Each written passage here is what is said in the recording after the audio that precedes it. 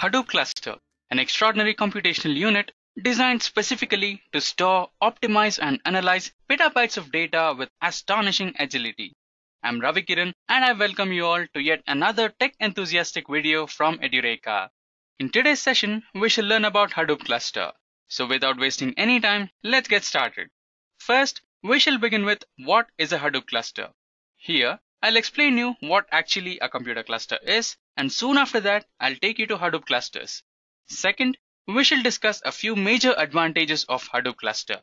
Followed by that, we shall learn a few facts about Hadoop cluster and later on, we shall get into the core of Hadoop cluster which is none other than its architecture. Once we finish off with the theory part, I shall get you involved into the practical session where we'll be setting up a Hadoop cluster and finally, we shall deal with the Hadoop cluster management system, the Ambari. I hope I made myself clear with the agenda. Now let us begin with our first topic, what is a Hadoop cluster? Before getting started into the Hadoop cluster, let us understand what actually a basic computer cluster is. A cluster basically means that it is a collection. A computer cluster is also a collection of interconnected computers which are capable enough to communicate with each other and work on a given task as a single unit. Similarly, Hadoop cluster is also a collection of commodity hardware which can be computers and servers interconnected with each other and work together as a single unit. Hadoop cluster has a master and numerous number of slaves. Master assigns the task and guides the slaves. Now that we know what a Hadoop cluster is, let us now understand its advantages over the other similar data processing units. Some of the major advantages of Hadoop cluster are Hadoop cluster is scalable, cost effective, flexible, fast, and resilient to failure. Let us now discuss each one of them in detail. First, Hadoop cluster is scalable. Hadoop is a beautiful storage platform with unlimited scalability. Compared to RDBMS, Hadoop storage network can be expanded by just adding additional commodity hardware. While RDBMS can't scale and process huge amounts of data, Hadoop on the other hand can run business applications over thousands of computers altogether processing petabytes of data. Second one, the Hadoop cluster is cost effective. Traditional data storage units had many limitations and the major limitation was related to the storage. Hadoop clusters overcome it drastically by its distributed storage topology. Hadoop clusters use commodity hardware and the lack of storage can be handled by just adding additional storage units to the system and the clusters functions as good as new. The third one is Hadoop clusters are flexible. Flexibility is the major advantage of Hadoop cluster. The Hadoop clusters can process any type of data irrelevant whether it is structured, semi-structured or completely unstructured. This enables Hadoop to process multiple types of data directly from social media. The fourth advantage is Hadoop clusters are fast. Hadoop clusters can process petabytes of data within a fraction of a second. This is possible because of the efficient data mapping capabilities of Hadoop.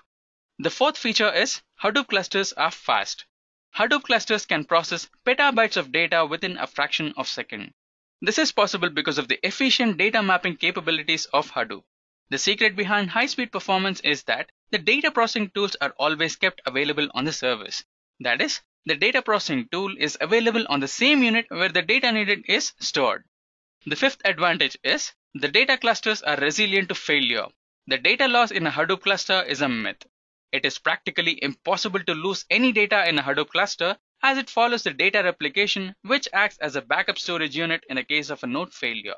So with this, let us move on to our next topic which is related to Facebook's Hadoop cluster. Since 2004 from its launch, Facebook is one of the biggest users of Hadoop cluster. It is called as the beefiest Hadoop cluster. It approximately uses 4000 machines and is capable to process millions of gigabytes together.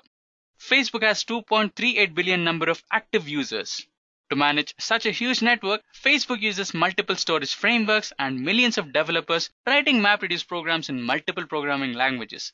It also uses SQL, which drastically improves the process of search, log processing, recommendation system, starting from data warehousing to the video and image analysis.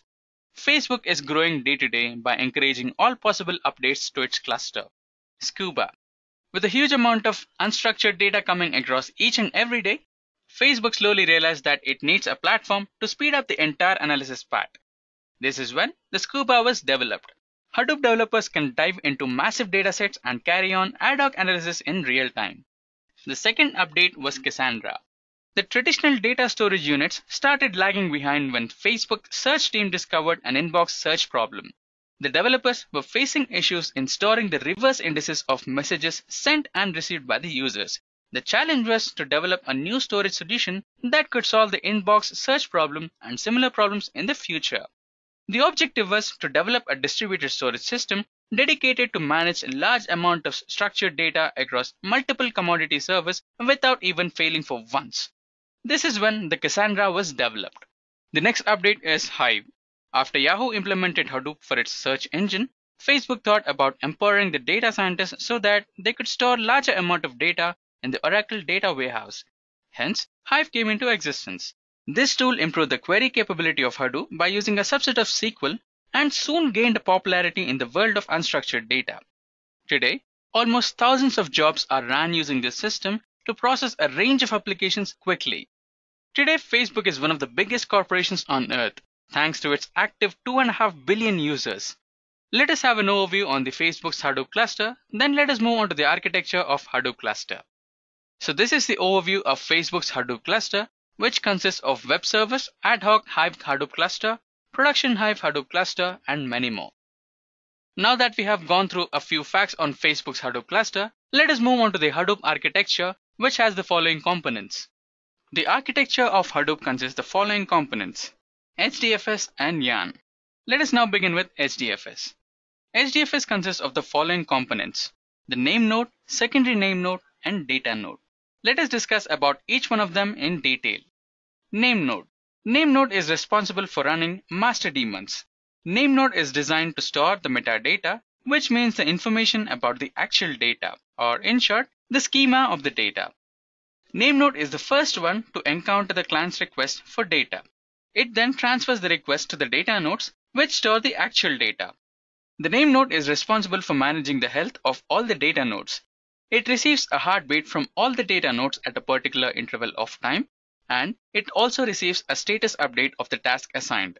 If any of the data node fails to respond with a heartbeat, then the name node considers the data node to be dead and it reassigns the task to the next data node. The next one is data node. Data nodes are called as the slaves of name node and they're responsible to store the actual data and also to update the task status and health status to the name node in the form of a heartbeat. Now, the last one is the secondary name node. The secondary name node, as it speaks, is not actually a backup of name node, but it actually acts as a buffer which saves the latest updates to the FS image which are obtained in the intermediate process and finally updates them to the final FS image. Now, let us discuss about YARN. YARN Yet another resource negotiator. YARN consists the following elements. Node Manager, App Master, and Container. Let us discuss each one of them in detail. Node Manager. Node Manager is a Java utility that runs as a separate process from WebLogic Server. It allows you to perform common operations for a managed server regardless of its location with respect to the administration server. The second one is App Master. App Master is responsible for negotiating the resources between Resource Manager and Node Manager. And the last one is the container. The container is actually a collection of reserved amount of resources allocated from the Resource Manager to work with the task assigned by the Node Manager. Now, with this, we shall have a look on the overview of the Hadoop cluster architecture and followed by that, we shall look into the rack awareness algorithm. So this is the architecture of Hadoop cluster, which consists of racks. Each and every rack consists of a set of computers and one of the rack consists master. And these racks use core switches to communicate between each other. Now, let us move on to the rack awareness algorithm. The rack awareness algorithm is all about data storage. It says that the first replica of the actual data must be located in the local rack and the rest of the replicas can be stored on a different remote rack. Let us look onto an example to understand this in a better way. Here I'm having a data block on the data node 1 and the data node 1 is available on the rack 1 which happens to be a local rack. Now, according to the rack awareness algorithm, the replica of the data block in data node 1 can be stored in the remote racks which might be rack 2 or rack 3. As you can see, the replicas have been stored in a remote rack which is the rack number 2. Now, let us deal with a different block. As you can see, we have a new block in rack number 2, data node 7. This is the local rack for the data block stored in data node 7. Now let us see where the replicas of data node 7 are stored. The replicas of data node 7 are stored into the remote rack which is rack number 3 and the data block is stored in data node 9 and data node 12. As you can see, now we have a new data block stored in the data node 11 and rack 3 is a local rack for the data block stored in data node 11. Now let us see where the replicas of data node 11 are stored. As you can see, the replica blocks of data node 11 are stored in the remote rack which is rack number 1 and the data blocks are stored in data node 2 and data node 4. With this, we have finished our theory part. Now let us get into the practical part where we'll learn to set up a Hadoop cluster with one master and two slaves. So let us begin with our practical session. Here we must create three host systems out of which one is the master and the other two are the slaves. So I'll be choosing the Linux operating system for this and I'll be using CentOS 7. I'll be starting with creating a new virtual machine here I'll be selecting my ISO image. This happens to be my ISO image, which has the Hadoop pre-installed.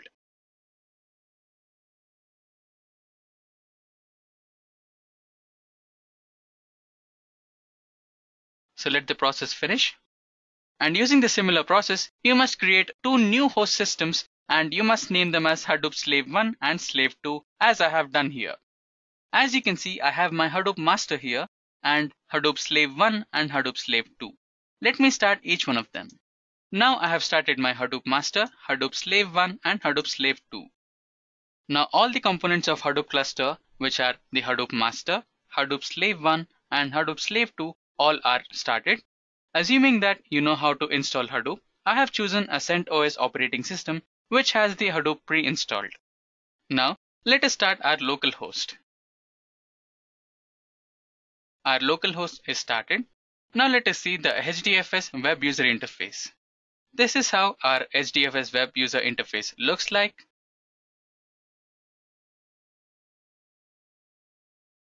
And you can see our name node is in progress. And similarly, let us try to start the HDFS web user interface in our Hadoop Slave 1 and Slave 2.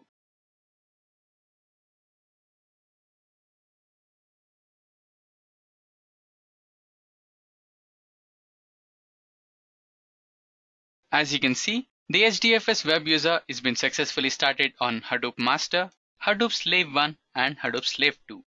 Now, let us begin with setting up our Hadoop cluster with Hadoop Master and Hadoop Slave 1 and Slave 2. Before getting started, our first job will be getting to know the IP address of our Hadoop master. To know the IP address of the Hadoop master, we can type in the command ifconfig. This command will give us the IP address of our Hadoop master. Here, my IP address is 192.168.233.130.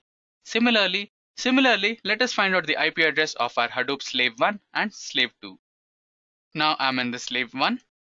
Here I'll type in my command ifconfig, which must show me my IP address of slave 1. So here the IP address of the slave 1 is 192.168.233.138. Similarly, let us find out the IP address of slave 2. As you can see, the IP address of slave 2 is 192.168.233.129. Now, our next job is to edit the host and set the IP addresses of the master and slaves. Now let us open a new terminal you can edit the host by the command vi etc slash hosts. Here I have already edited the host as you can see. I have given 192.168.207.134 as my Hadoop master and 192.168.233.128 as my slave 1 and finally 192.168.233.129 as my slave 2. This step must be followed on all the three machines which is the Hadoop master, Hadoop slave 1 and Hadoop slave 2. Once you define the IP addresses, you can simply press escape and colon WQ to exit the terminal and save the changes you made in the terminal.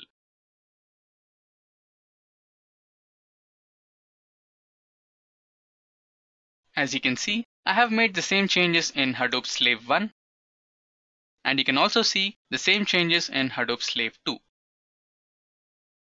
Remember, you have to follow all these changes in all the three machines, which includes Hadoop master and Hadoop slaves. Now we know that we have defined the IP addresses of all the three machines to all the three machines. Now let us see if they work or not. Let me open a new terminal and try to ping the Hadoop slave 1. The name of my Hadoop slave 1 is slave 1. So let me write ping to slave 1. As you can see, the ping is successful and the data is been sent to the slave 1. Now let me open a new terminal and try to ping to my next slave using the command ping. As you can see, my second slave name is slave 2. So I'll be writing slave 2 and I'll start the ping. As you can see, the ping is successful. Now similarly, let us try this on our slaves too. Let me open a new terminal on slave 1 and let me type in the command to ping the master. As you can see, the name of my master is master. So let us try to ping to the master. The ping is successful and the data is been sent. Similarly, let us try on our slave 2 if slave 2 can successfully send ping to the master or not. Let us open a new terminal and write in ping to the master. As you can see, the data has been successfully sent to the master here. So with this, we have successfully established a Hadoop cluster consisting of Hadoop master and Hadoop slaves. As you can see, the pings are successful the master is communicating with both slave 1 and slave 2. And similarly, the slave 1 is communicating with master and slave 2 is also communicating with master. Now with this, we have finished our demo session. Now let us learn about managing a Hadoop cluster. Hadoop is both a command line interface as well as an API. It does not require any tool in specific for managing and monitoring utilities. Yet, there are some options available such as Ambari and Hortonworks. The most popular one is the Ambari. Let us see how does a typical Ambari user interface looks like. So this is how a typical Ambari user interface looks like. We can see the HDFS disk usage percentage, data nodes alive, memory usage graph, network usage graph, and CPU loads, cluster load, name node heap, and many more. So with this, we have come to an end of this session based on Hadoop cluster. If you have any doubts related to the topic, then please feel free to write them in the comment section below. Till then, thank you and happy learning.